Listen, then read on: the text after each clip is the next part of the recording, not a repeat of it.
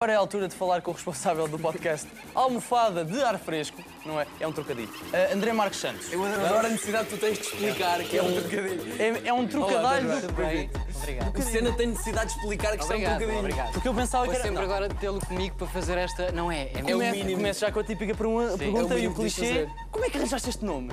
Olha, este nome vem de uma pessoa que habitualmente tropeça em expressões eh, portuguesas e corriqueiras Nem e populares. Mesmo sóbria, que é uma, uma mulher, podia ser um homem, mas, mas neste caso é uma mulher, e que eh, muito regularmente me apresentei e apresentei às pessoas que estão à volta dela com algumas pérolas destas e, e esta eu achei que, que se poderia adequar. Apanhaste-se, a almofada de ar fresco é bonito. Vamos lá saber então, ah, para, quem, para quem ainda não ouviu esta almofada de ar fresco, ah, do que é que trata? Bem, a almofada de ar fresco trata de tudo aquilo que não interessa, ou seja, das notícias eh, Gosto da disso. internet que toda a gente comenta eh, em catadupa, mesmo que sejam apenas eh, sobre uma cobra gigante num avião ou sobre as fotos de Melania Trump que vieram para a internet. Agora isso interessa um bocadinho. Muito é bom. o que interessa, Muito desta, claro, claro, é o que interessa que- destas eleições, se calhar. não é? Sim, o mais importante. Então, é e uma que são de facto coisas realidade, documentadas e o melhor. Tudo- é uma disca- dissecação da realidade. Não é exatamente um uma, uma dissertação, ou seja, as pessoas comentam muito isto, há muito material nas caixas de comentários e, portanto, eu trago ah, esses comentários, os mais brilhantes, pelo menos. É difícil escolher na Sim, parte é das muito vezes. difícil, porque há muito. Ahm, até ah, Há génios por a este podcast.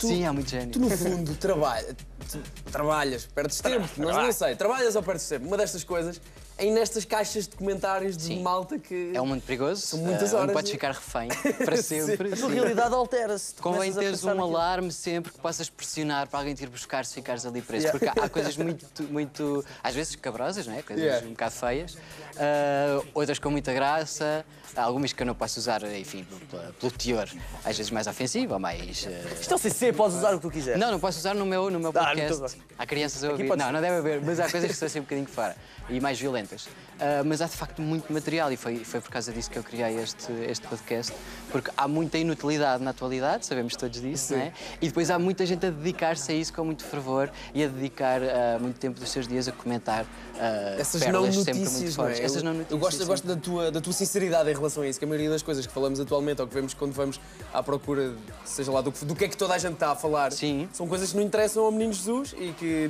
não, não têm significado Claro nenhum sim. para a nossa vida amanhã à tarde. Mas ainda assim há pessoas que dedicam mesmo muito tempo, Muito tempo. a esta coisa. Eu, eu ia te perguntar se tens um tipo de, de comentadores favoritos. Eu tenho um, pessoalmente, que é aquele que começa a haver muito lixo no comentário e há um gajo que chega e diz: "Epá, esta malta é toda burra, pá, eu agora vou explicar. Esse é o meu favorito. Estão sempre lá. Esses eu gosto daqueles que fazem trocadilhos. Claro. Ah, no outro dia, por exemplo, havia uma notícia de um rapaz que viveu com uma cauda durante 18 anos e houve um comentador que chegou e disse: Estive a ler estes comentários, é com cauda uma. São os meus preferidos. Eles esforçam-se muito.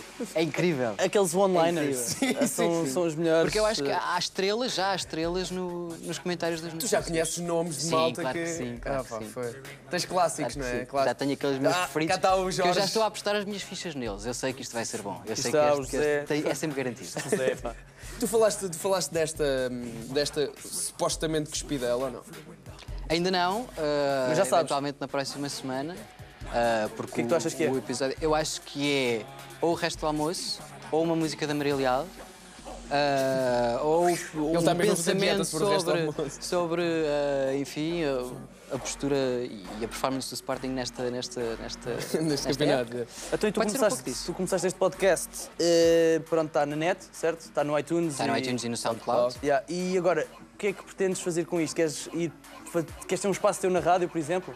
Pô, este podcast surge uh, por, por- ou seja, por não conseguir chegar e por não conseguir viabilizá-lo uh, na rádio Esse- institucional. então era um objetivo. Sim, é, é no fundo uma montra, não é? Para mostrar que consigo pôr um, um programa ah, no ar todas as semanas, que é escrito por mim, que é editado por mim, que é gravado por mim, ah, nos estúdios da Universidade Autónoma de Lisboa, e que, que eu consigo fazer, por isso, fazendo-o assim, de forma totalmente independente, ah, quem sabe o que, é que, o que é que pode acontecer depois, mas, mas é essencialmente, de facto, para mostrar que é possível e porque me divirto muito a fazê-lo, a verdade é essa. E há, há muitas pessoas a ouvir pel- pelos vistos, já estiveste no Sim, numa lista do felizmente, sim, top sim. 40 Top de Portugal e Sim. estás nos lugares sem mais de. Como é que uma rádio ainda não te contactou? Não percebo. Pergunto-me isso às vezes. Fica a questão, fica a questão. Portugal, não é? Oh, meu Deus. Diretas das rádios, bora?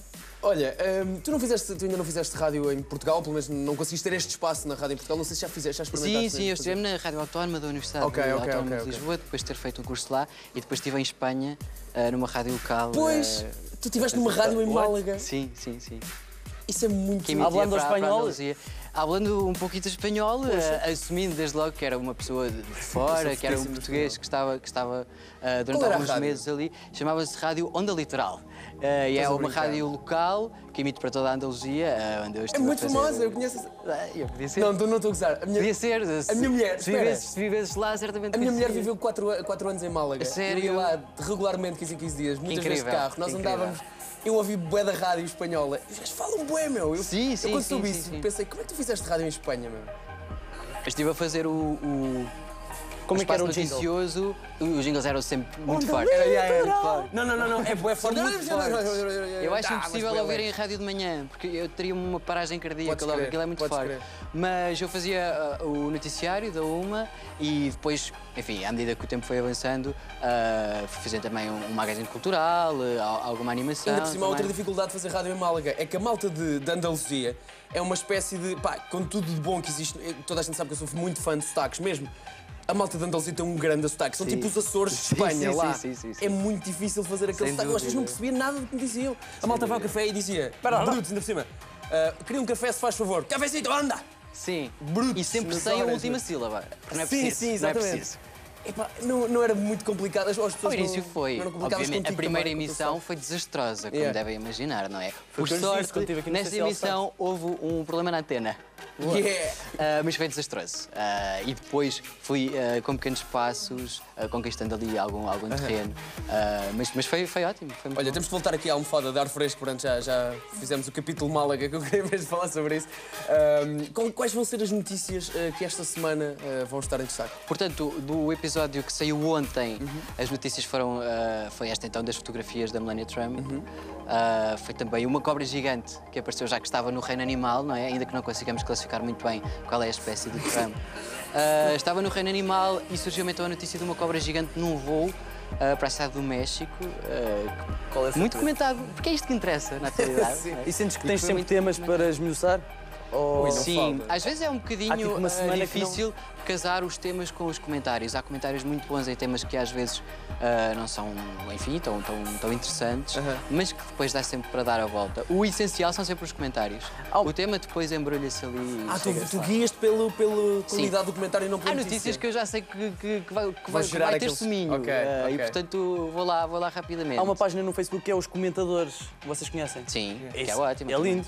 É muito aí bom. ganhas muito material aí também. Sim, mas eu vou diretamente ou aos eh, Vai à fonte. sites eh, noticiosos Yeah. ou às páginas de Facebook eh, dos jornais.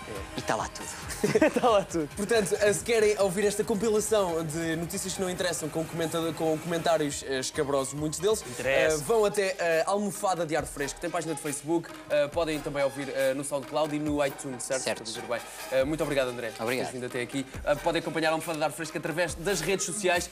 Amanhã, eu e a Rita Camarneiro, recuperadíssima da sua queda de skate, eh, vamos estar cá a falar com o Kessel, do Vodafone Mesh Fest, eh, Pedro Paulos, do Festival Termómetro, e descobrimos o que é a app Finster. Vai ser bonito. Até amanhã. É tipo um. Tinder? É quase.